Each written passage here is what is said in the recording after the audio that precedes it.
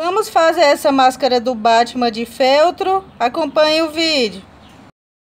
E para fazer a máscara do Batman, eu peguei um molde na internet, recortei no papel ofício.